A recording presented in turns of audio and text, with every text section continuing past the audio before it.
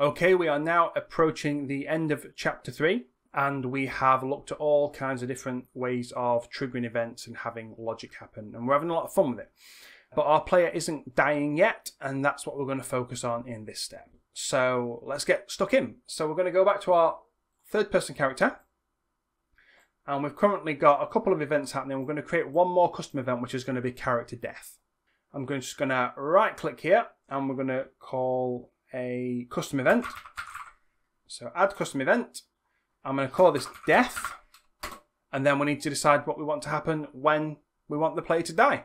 So the first thing we will want to happen when our character dies is disable character movement so that the player can no longer run around because that feels weird.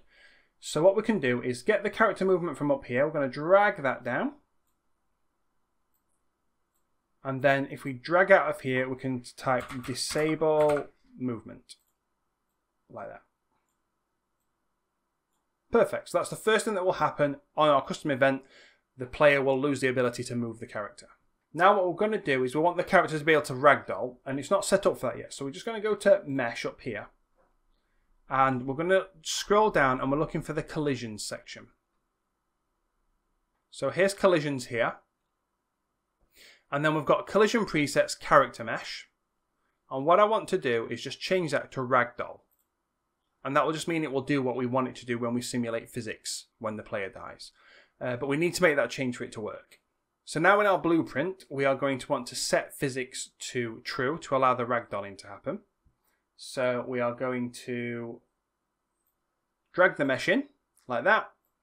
And then we're going to type set simulate physics and we'd like that to become true. So I'm going to tick that box. And that's two things we've got happening. So the movement's going to be disabled and the physics are going to be enabled. So those are the first two components we need. Then we're going to want to have the game reset, but not immediately. We want the player to sort of realize that they've died first. So we're going to add a delay in. And a delay, I think, of about four seconds works for this. So we'll type four in there. Lovely. And then the last thing we're going to do is we're going to destroy the actor. So, destroy actor. Now, it's actually that that's going to be useful to us here because when we destroy the actor, we've already got something that happens. Up here, it's going to reset the game. So we're basically going from there to up there. From there to there. Okay, so that now is our little death sequence set up. But there's nothing to make that happen yet, is there? So nothing's going to trigger this. And that needs to happen up here.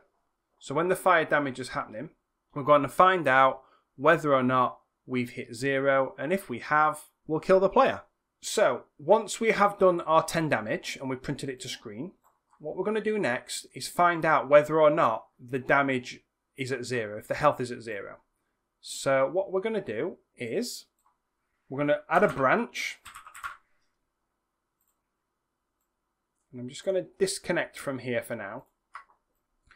And we need to know what the condition is going to be is the health at or below zero. So we're going to get the health like that. And we're going to drag out of that and I'm going to type this, which is the less than symbol. And I'm going to choose less than or equal to. So if it is zero, essentially, because we've got equal in there, or less than that, because sometimes you might have something that you forgot that takes your health below zero. So it's always good to have less than or equal to. If it is less than or equal to zero, well then in that case we want it to kill the player, don't we? So from true, we're going to do death. Lovely. But if it's not true, then we want to keep taking health off. So from false, we're going to go back into there and have that continue to do its thing. So let's test that out and see if it works. So compile and save. I'm now going to run into the fire and then we'll wait for the health to come down. So it's on 20, 10, 0, and there we go, we die. We wait four seconds, it resets, and if we run back into the fire, you can see that it also resets our variables. So now the health is back up at 100, and we've got to bring that down again. which is pretty good. So we've now got almost everything set up that we need. Perfect. Right. Let's make this look pretty. So I'm now just going to resize this again. So this is going to be something that the player has to get around. I'm just going to hide it in this corner over here. So we'll put that to about there. Let's go a little bit longer. Is there room for the player there? Yeah, I think it's still a little bit too tall. I want the player to be able to jump over this as well. So I think that's where the damage is going to be for the fire. I'm also going to grab my keycard and I'm going to put that in the corner behind the fire. Lovely. Now we're going to use some of the starter content to sort of dress this up a little bit. So if I go to content and starter content, there's a blueprints folder and in that there is something called blueprint effect fire. I'm going to drag that in and you will see, hopefully, that we have some fire going on. And what I'm going to do now is just place this first one where I want it, which is going to be about here. And then holding my Alt key, I'm going to create a few copies of it that go where my firebox is.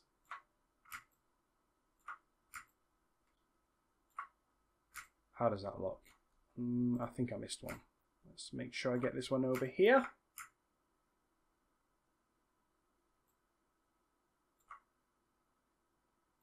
Perfect.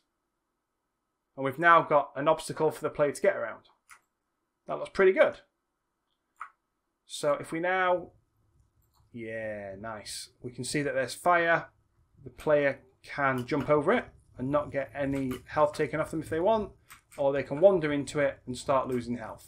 Perfect. So now that we've got the fire there doing the job of the collision box, we can make it so it's not visible in game. So we're going to go back to our fire damage click on the box and we'll turn hidden in game back on. Compile that and then we'll play again. You can see now the keycard is there and how do we get to it? We're going to run and get it there.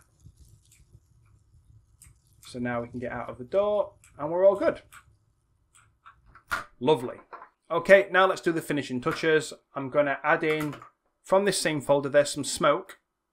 I want this room to look smoky. So sort of about here I think is a good place to put it. And what I like to do with this is just scale it right up. Maybe that was too big. Let me just see what the details are for this. That's 10 times bigger. Let's go for about that. And this is just going to make the room feel smokier to the player as well. Let's maybe move it over that side a bit. And now as we look around, you can see that the room feels a lot more like maybe the spaceship's just crashed or something. So that looks good. And then it also kind of hides the keycard a bit. Maybe a bit too well. I'll let you be the judge of that. So that bit's done anyway. So we've now got our smoke in the room. We've also got our blueprint fire effect. And we've got our keycard doing its thing. The final thing for the finishing touches is going to be commenting all of our logic up. So let's make sure that everything's done. So the door is done. The third person character isn't. So this one is going to be, so C for a comment, uh, destroy and reset. This one is fire damage.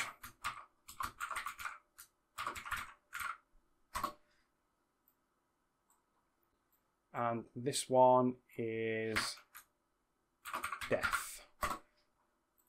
Nice. Let's go into the key card and check that we've done everything there. I'm going to comment that up. Collect key card. And finally for the fire damage,